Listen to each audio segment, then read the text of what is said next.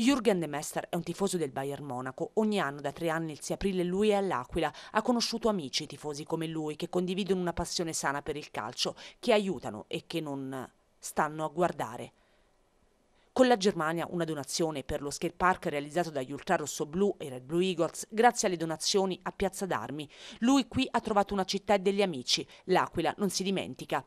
È la terza volta di essere alla fiaccolata. Sì, sì, sì, ho tanti amici qui perché dopo il terremoto abbiamo fatto anche in Germania una raccolta per aiutare il progetto del skate park e così ho trovato tanti amici in questa città e sono tornato ogni anno quando è possibile per questo fiaccolato e anche per vedere come la città si, si rinasce.